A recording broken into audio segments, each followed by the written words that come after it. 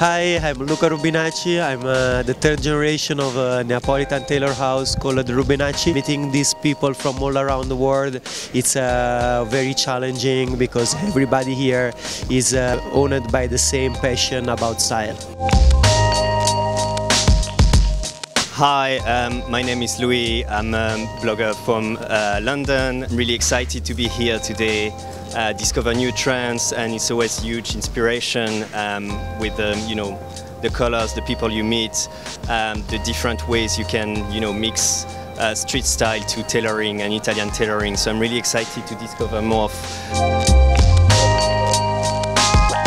Hello, my name is Erica. I'm shooting, uh, taking style pictures for Style Forum. What I love about, about Style Forum is that it brings people from all over the world together and, uh, you know, the real enthusiasts and you get inspiration. Good morning everybody, I'm Fabrizio Oriani from Gentleman's Wear Daily. My Gentleman's Wear Daily motto is about build your own style. That's meaning uh, everyone should be influenced, should be inspired, should be energized by the by the styles that you can see all over the place. Hi, I'm Marcus from Men With. I think Uomo is a playground for grown-up. Italian is like a, I would say, mecca for men's fashion. So when it comes to couture and so, so yeah.